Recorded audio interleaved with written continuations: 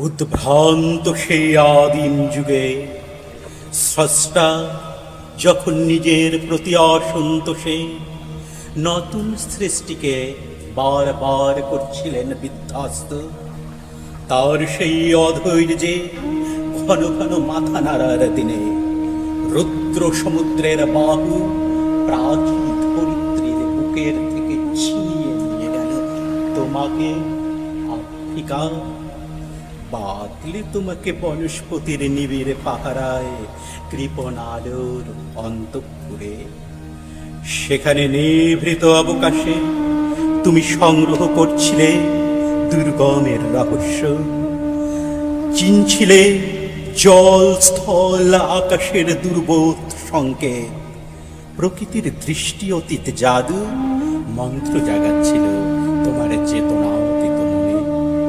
বিদ্রুপ করছিলে ভীষণকে, বিরূপের ছদ্মবেশে শঙ্কাকে যাচ্ছিলে হার মানাতে, আপনাকে উগ্র করে বিভীষিকার প্রচণ্ড মহিমায় তাণ্ডবের দুন্দুভি নাদে। হায় ছায়াবৃতা, কালো ঘোমটার নিচে অপরিচিত ছিল তোমার মানব রূপ, উপেক্ষার আবিল দৃষ্টিতে। এলোরা লোহার হাত করে নিয়ে। নখ যাদের তীক্ষ্ণ তোমার নেকড়ের চেয়ে। এলো মানুষ ধরার দল, গর্ভে যারা অন্ধ তোমার সূর্য হারা অরণ্যের চেয়ে।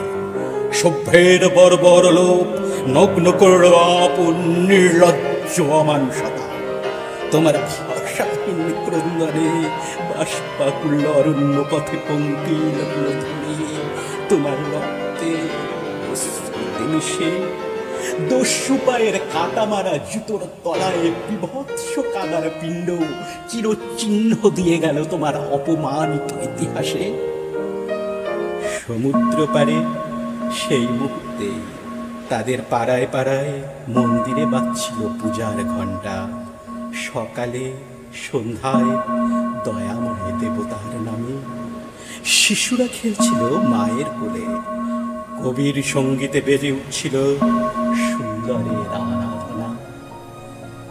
আজ যখন পশ্চিম দিগন্তে প্রদোষকাল, ঝঞ্ঝা বাতাসে রুদ্ধশ্বাস, যখন গুপ্ত ভোর থেকে পশুরা বেরিয়ে এলো, অশুভ ধ্বনিতে ঘোষণা করল তীরের অন্তিম গান।